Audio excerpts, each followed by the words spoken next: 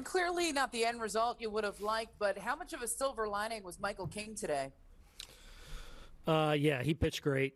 Um, you know, and to be as pitch efficient as he was, to be able to complete that game uh, was huge for us. You know, to you know save some guys, obviously, but just especially after the way it started for him. You know, I think he had a four pitch walk to start, ball one to the next guy. And then he really locked it in and, and got really pitch efficient. I thought used all his pitches really well. He had his cutter going, using his sinker, his changeup, shaped some good sliders. So uh, he was really in command and gave us a chance. You know, I mean, fell behind, seemed like we are down big there early, and but we're right in that game. We just couldn't muster enough offensively, but he did a heck of a job. You mentioned the pitch efficiency with King, also just command in general, something he struggled with at times throughout spring training. What was so dramatically different about his stuff this afternoon? Well, m- more than anything, we saw that guy in spring training. There were a couple outings where he gets a little, you know, he gets a little out of whack with his delivery and gets a little rotational and his, you know, the first hitter when he walked the, you know, first four pitches weren't o- overly close, and then he he settled in. He got real directional and, um, you know, ran through a really good lineup there to keep them at bay and give us a chance. So, um, really encouraging, uh, another encouraging outing for him. What do you make of Germán's outing? Uh, I thought he was pretty sharp actually in the first inning. Finished off Hernandez with some really good breaking balls, and then um, obviously in that second inning, you know, he's probably a hitter away from getting out of that or getting taken out just because his pitch count got so high in that second inning. I just didn't feel like he was as sharp with some of his secondary pitches. Um, you know, the home run to Vladdy's going to happen. Then he hangs a breaking ball to Gurriel to get it going, and then Grichuk hits a hanging changeup after putting together a pretty good at bat. So just made a couple mistakes. They made him pay. Um, just not overall as sharp with some of his secondary, you know, especially as I thought he was in the first inning. Tom Merriam, you have the next question. Please unmute. Aaron, can you just talk about your impressions of the offense through the first three games here?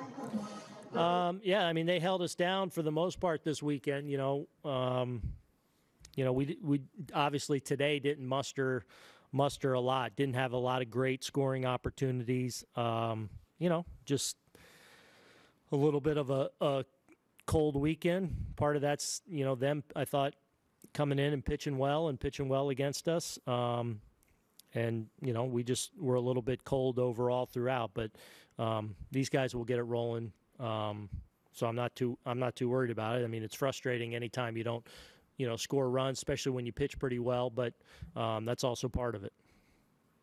Erik Boland, please unmute. Aaron, with King going six today, you guys have to make a move tomorrow. Are you guys well enough protected in the pitching department? Uh, I mean, that was huge for us. So um, we should we should be okay. Anyone else for Aaron? Kristie Ackert, go ahead. Aaron, in spring training, King said that you know his goal is to give you 100 innings, whatever way you guys needed them.